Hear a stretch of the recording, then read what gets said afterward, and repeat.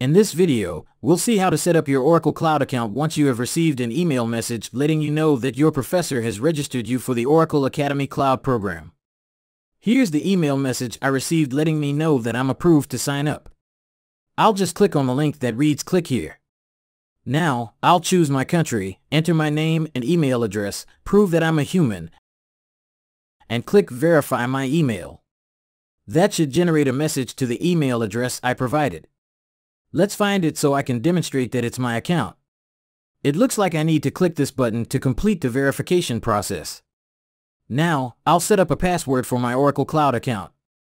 It must be a minimum of 8 characters long and contain one uppercase letter, one lowercase letter, one number, and one special character. I'll indicate that this is an individual account and choose a cloud account name. I'm happy with the one they suggested, but I'll be sure to write it down because I'll need it each time I sign into the Oracle Cloud Console.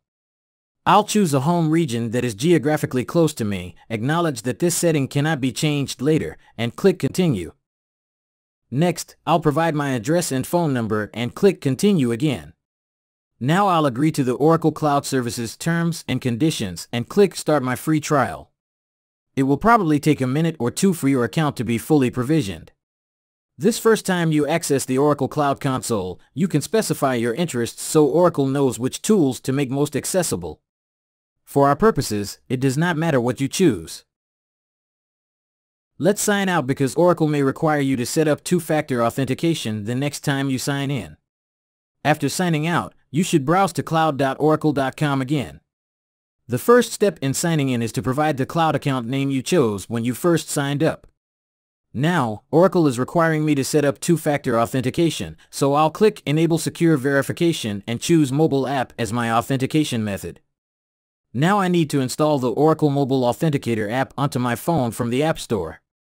Once it is installed, I'll use it to scan this QR code to connect my Oracle Cloud account to the Authenticator app. I'll use the app to authorize this sign-in. Now I'm successfully logged in and back to my Cloud Console Getting Started page.